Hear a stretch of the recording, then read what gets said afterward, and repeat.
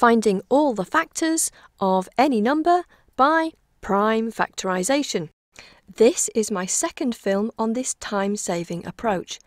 Up here is the link to the first video in case you haven't seen that yet. This video is a demonstration that assumes you've seen the first film and that you've practiced this method already. In this film, you'll see what to do when we get repeated prime factors cropping up. This time, we're going to find all the factors of 324. We start with division. Our number is even, so we kick off with 2.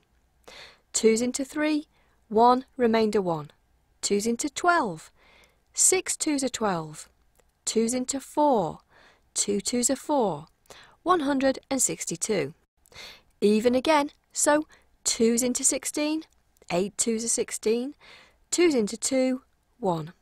81. Great! 81 is from 9 times 9.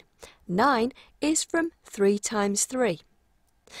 324 gives us repeating prime factors. And we found some of its factors already. To find all the factors of 324, we use the method I showed you last time. Set out the prime factors to create your workspace. Remember, we multiply every factor in every combination to get all the factors of 324. Start with the like factors. 2 times 2 is 4. 3 times 3 is 9. Now we do 3 times 3 times 3. We can think of this as 9 times 3. It's easier to say and to think through. So 9 times 3 is 27. And all the 3's multiplied together is the equivalent of 9 times 9. That's 81. Next, we get the different factor combinations. We've already worked out the 3's, so use those calculations now rather than redoing them each time and maybe making a mistake. Start with 2. 2 times 3 is 6. 2 times 9 is 18. 2 times 27 is 54.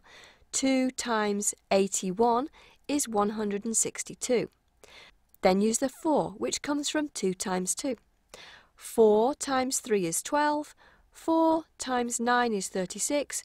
4 times 27 is 108 and that's all the calculations done. Then we list the factors of 324 in ascending order. Start with 1, 2, 3. You know what you're doing with this.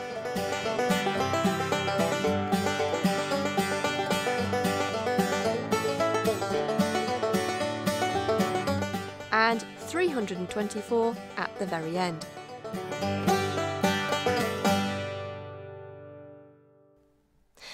This cool method takes just a few minutes to find all the factors of any number. Be smart, use this trick.